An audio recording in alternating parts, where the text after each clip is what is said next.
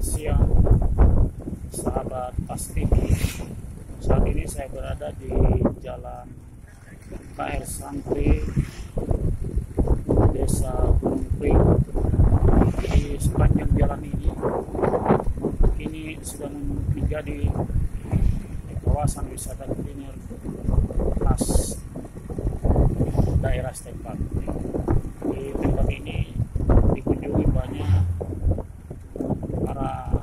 是兰州，羊皮。